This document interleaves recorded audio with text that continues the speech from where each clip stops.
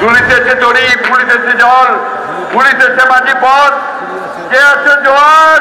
হাও আগুয়ান, থাকিছে ভবিষ্যৎ। এই যুদ্ধ করতে হবে তারও। সংগ্রাম করতে, লড়াই করতে হবে না। দেশের এই ক্রান্তি লগ্নে সবচেয়ে বড় ত্যাগ স্বীকার করতে হয় কাকে? তরুণদেরকে। বারবার জনগণের সঙ্গে প্রতারণা করে, জনগণকে বোকা বানিয়ে তারা ক্ষমতায় জোর করে টিকে থাকতে চায়। সেই আওয়ামী যারা সেদিন জাতির সঙ্গে প্রতারণা করে স্বাধীনতার পরে একদলীয় শাসন ব্যবস্থা প্রবর্তন করেছিল, আমাদের নেত্রী দেশনেত্রী বেগম খালেদা জিয়া, তিনি এখনও বন্দী। তিনি হচ্ছেন সেই হামিলনের বংশীবাদক। যে হামিলনের বংশীবাদক বাসিতে ফুদিরে লক্ষ কোটি মানুষ রাস্তায় বেরিয়ে আসে জন্যই আজকে আটক করে রাখা হয়েছে বলেছিল মনে আছে আপনাদের নিশ্চয়ই। দশ টাকা চাল খাবে, তাই না? এখন আশি টাকা, নব্বই টাকা চালের দাম। বাংলাদেশে গত চোদ্দ বছরে একশো বিলিয়ন ডলার পাচার হয়ে গেছে, বন্ধু। এই সরকার মানুষের বিরোধী সরকার। অর্থনীতিকে ধ্বংস করে দিয়েছে। মেগা প্রজেক্টের নামে মেগা দুর্নীতি করে আমার দেশকে পোকরা করে দিয়েছে। এই সরকারের অধীনে বাংলাদেশে কোনো নির্বাচন হবে না। যদি ভালো চান দেশের মঙ্গল চান, তাহলে এখনও সময় আছে আমাদের যে এক দফা দাবি, তা মেনে নিয়ে পদত্যাগ করুন। আমাদের এই স্বাধীন বাংলাদেশের যিনি স্বাধীনতা ঘোষণা করেছিলেন, যার স্বাধীনতার মধ্য দিয়ে আমরা আজকে একটা স্বাধীন ভূখণ্ড পেয়েছি মুক্তিযুদ্ধ করে, সেই শহীদ প্রেসিডেন্ট জিয়া রহমানের জীবনের স্বপ্ন ছিল যে তিনি একটা সত্যিকার অর্থেই বহুদলীয় গণতান্ত্রিক। একটা সমৃদ্ধ অর্থনৈতিক দিক দিয়ে সমৃদ্ধ একটা বাংলাদেশ তৈরি করবেন এবং সেই জন্য তিনি সেই আওয়ামী লীগ যারা সেদিন জাতির সঙ্গে প্রতারণা করে স্বাধীনতার পরে একদলীয় শাসন ব্যবস্থা প্রবর্তন করেছিল, সেটাকে পরিবর্তন করে সেই বহুদলীয় গণতন্ত্র নিয়ে এসেছিলেন। বন্ধুগণ আজকে সেই গণতান্ত্রিক বাংলাদেশকে এই আওয়ামী লীগের যে অনির্বাচিত বেআইনি সরকার, অসাংবিধানিক সরকার বারবার জনগণের সঙ্গে প্রতারণা করে, জনগণকে বোকা বানিয়ে তারা ক্ষমতায় জোর করে টিকে থাকতে চায়। এটা করতে গিয়ে তারা কি করেছে? রাষ্ট্রযন্ত্রকে ধ্বংস করেছে বন্ধুগণ তারা রাষ্ট্রযন্ত্রকে ব্যবহার করেছে। তারা সমস্ত গণতান্ত্রিক প্রতিষ্ঠানগুলোকে ধ্বংস করে দিয়েছে। বিচার ব্যবস্থাকে তারা দলীয়করণ করার চেষ্টা করেছে। তারা প্রশাসনকে দলীয়করণ করেছে। আইন শৃঙ্খলা রক্ষাকারী বাহিনীকে তাদের প্রয়োজনে ব্যবহার করে তারা জনগণের উপরে অত্যাচার, নির্যাতন, নিপীড়নের টিম রোলার চালিয়ে দিয়েছে বন্ধুগণ বন্ধুগণ, আজকে বক্তব্য দীর্ঘ করব না। এখন বক্তব্যের সময় নেই। আজকে আমরা মাঠে নেমেছি। আমাদের সামনে মাত্র একটি লক্ষ্য। একটি লক্ষ্য যে আমরা আমাদের গণতান্ত্রিক বাংলাদেশ ফিরে চাই। আমরা সেই বাংলাদেশ ফিরে চাই যে বাংলাদেশের স্বপ্ন শহীদ জিয়া দেখেছিলেন, যে বাংলাদেশের স্বপ্ন দেশনেত্রী বেগম খাদিয়া দেখেছিলেন, সেই বাংলাদেশ ফিরে চাই। বন্ধুগণ, আমাদের নেত্রী দেশনেত্রী বেগম খালেদা জিয়া, তিনি এখনও বন্দী। তিনি আজকে প্রায় ছয় বছর ধরে প্রথমে কারাগারে, তারপরে হাসপাতালে, এখন থেকে গৃহে বন্দি করে রাখা হয়েছে। একটি মাত্র কারণ, যে তিনি হচ্ছেন সেই গণতন্ত্রের প্রতীক, স্বাধীনতার প্রতীক, সার্বভৌমত্বের প্রতীক। আর তিনি হচ্ছেন সেই হামিলনের বংশীবাদক। যে হামিলনের বংশীবাদক বাসিতে ফুদিরে লক্ষ কোটি মানুষ রাস্তায় বেরিয়ে আসে, বন্ধু। তাকে আজকে আটক করে রাখা হয়েছে, বন্ধু। আজকে এই অবৈধ সরকার এই গণবিরোধী সরকার গণতন্ত্র বিরোধী সরকার আজকে আমাদের সমস্ত সুন্দর অর্জনগুলোকে ধ্বংস করে দিয়েছে। এই বান্ন বছরে আমরা বাংলাদেশকে এখন পর্যন্ত এমন একটা ব্যবস্থা তৈরি করতে পারিনি, যেখানে সকল মানুষের নিরাপত্তা নিশ্চিত করা যাবে।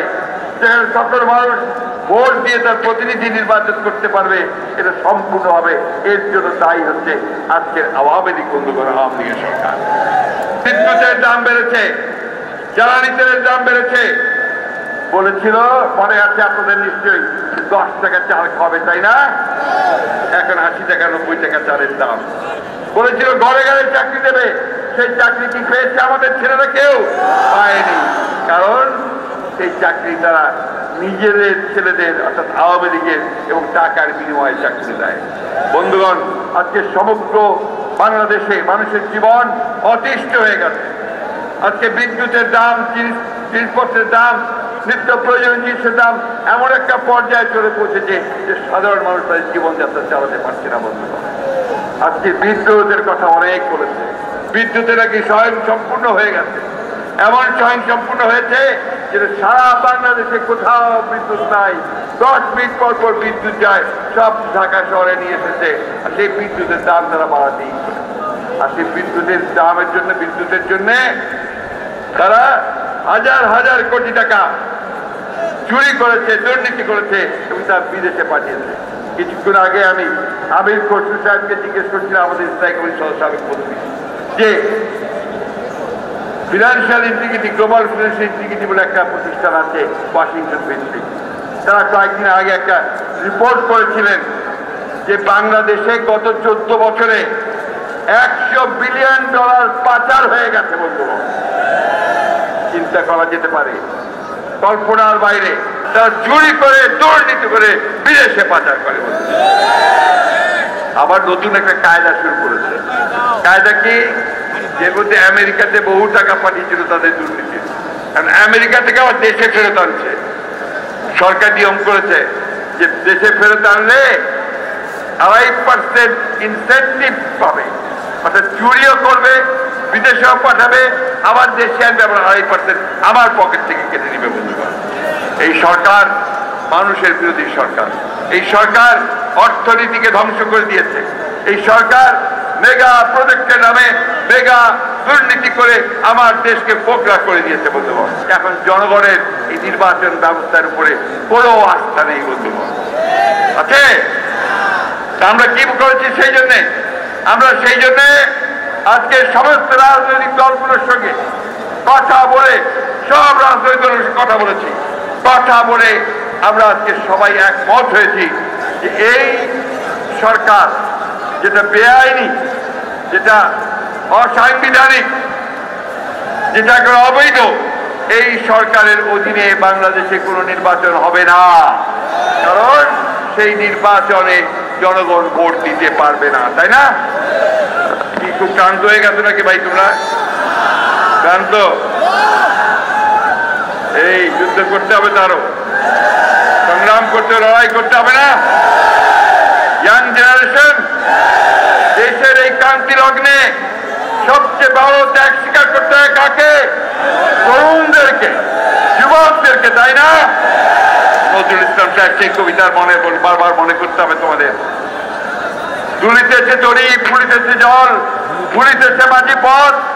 যে আছে জোয়ান? হাও আগুয়ান থাকিছে ভবিষ্যৎ। আমাদের হাজার হাজার নেতা কর্মীকে হত্যা করা হয়েছে। চল্লিশ লক্ষ নেতা কর্মীর বিরুদ্ধে মিথ্যা মামলা দেওয়া হয়েছে বন্ধু। আবার নতুন করে গায়েবী মামলা শুরু করেছে। শুধু তাই নয়, গত দুই দিনে এই মহাসমাবেশকে কেন্দ্র করে তারা প্রায় কয়েক হাজার নেতা কর্মীকে গ্রেফতার করেছে। কোনো লাভ হবে? গ্রেফতার করে কি আমাদেরকে থামানো যাবে? গ্রেফতার করে কি বাংলাদেশের গণতান্ত্রিক মানুষকে থামানো যাবে? বন্ধুগণ, যাবে না। সেই জন্য আমি আপনাদেরকে বলতে চাই, আমাদের অনেক নেতা এখনও কারাগারে আছেন দীর্ঘদিন ধরে। আমাদের আব্দুল সালাম পিন্টু প্রায় চোদ্দ বছর ধরে কারাগারে আছেন। লুৎফুজ্জামান বাবর তিনিও চোদ্দ বছর ধরে কারাগারে আছেন। আমাদের গিয়াসুদ্দিন আল মামুন কারাগারে ওই চোদ্দ বছর। সলিমুল কামাল আসলাম চৌধুরী, নুরুদ্দিন অপু, সাইফুল আলম নীরব, রফিকুল আলম মজনু, মোনায়েম মুন্না, এস এম জাহাঙ্গীর, গোলাম মৌলা শাহিন, মির্জা কালু, মোসাব্বের এবং ঝিনাইদা দিনাজপুর সহ বিভিন্ন জায়গা থেকে কালকে যারা আমাদের সমাবেশে আসছিল, তা আগের দিন আসছিল, তাদেরকে রাস্তার মধ্যে আটকে আটক করা হয়েছে।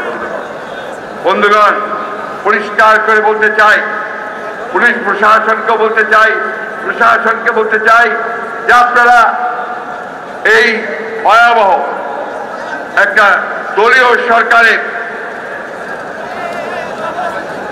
দলীয় সরকারের বেআইনি আদেশ নির্দেশে জনগণের বিরুদ্ধে অবস্থান নিয়েবেন না।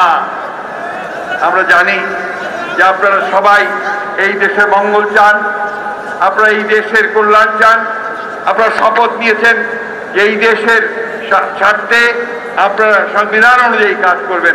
আমরা আপনাদের কাছে সেটাই চাই। আইনের শাসন মেনে চলুন। আইনের শাসন মেনে আপনারা নিয়ম মতো কাজ করুন। অযথা জনগণের বিরুদ্ধে অবস্থান নিয়ে জনগণকে অন্যায়ভাবে, বেআইনিভাবে তাদেরকে গ্রেফতার করবেন না। আমরা পরিষ্কার করে বলতে চাই, আজকে এই সমাবেশ থেকে এই গ্রেফতার বন্ধ করুন। বেআইনি গ্রেফতার বন্ধ করুন। হয়রানি বন্ধ করুন।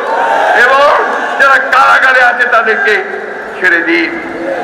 আর সবচেয়ে বড় কথা, আমাদের দেশীয় নেত্রী বেগম খালেদা জিয়া, তাকে অবিলম্বে মুক্তি দিন। আমাদের নেতা, ভারপ্রাপ্ত চেয়ারম্যান তারেক রহমান সাহেবের বিরুদ্ধে মিথ্যা মামলা প্রত্যাহার করুন, সারা দেশের মিথ্যা মামলাগুলো প্রত্যাহার করুন। এবং যদি ভালো চান, দেশের মঙ্গল চান, তাহলে এখনও সময় আছে আমাদের যে এক দফা দাবি তা মেনে নিয়ে পদত্যাগ করুন।